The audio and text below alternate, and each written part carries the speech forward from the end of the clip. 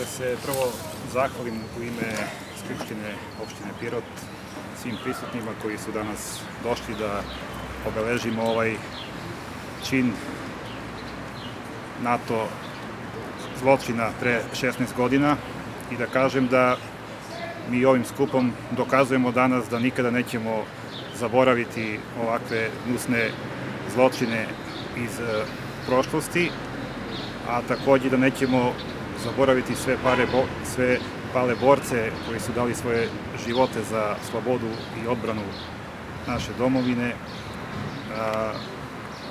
Na kraju, svako ko ne poštuje svoju prošlost, ne može ići dalje u budućnost.